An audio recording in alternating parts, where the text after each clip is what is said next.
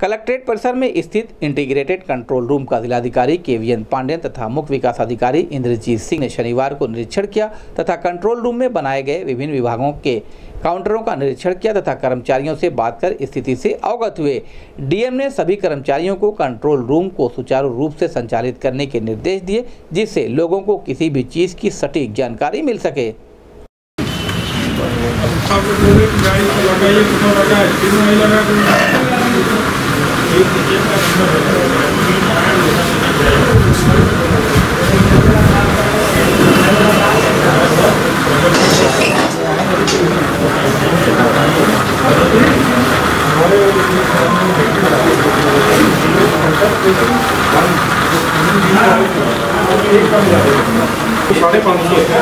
हाँ